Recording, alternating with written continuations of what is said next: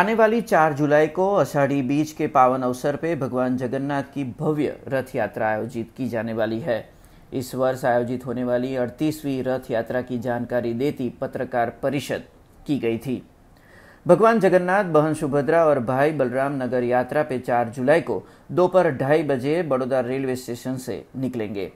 जिसकी शुरुआत सालों की परंपरा निभाते बड़ौदा के पहले नागरिक मेयर करवाएँगे। वहीं इस वर्ष रावपुरा मच्छीपीठ के मुस्लिम समुदाय की ओर से रथ यात्रा का स्वागत किया जाएगा ભગવાન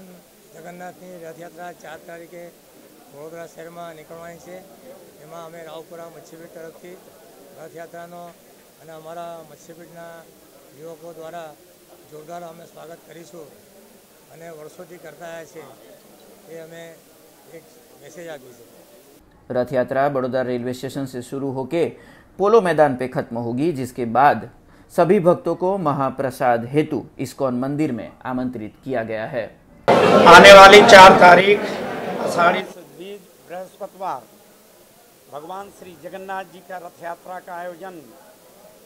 है और निर्धारित टाइम पे दो बज के पचास मिनट पे मेयर के परिधि के बाद रथ प्रस्थान करेगा। तो बड़ौदा के समस्त जन नागरिक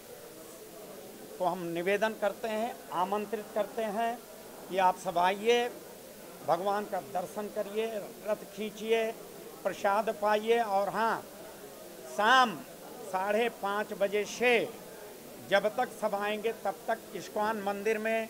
भंडारे का आयोजन किया गया तो हम सबसे निवेदन करते हैं कि रथ खींचें और उसके बाद जगन्नाथ जी का दर्शन करें उसके उपरांत इस्कॉन मंदिर में आकर के प्रसाद ग्रहण करें।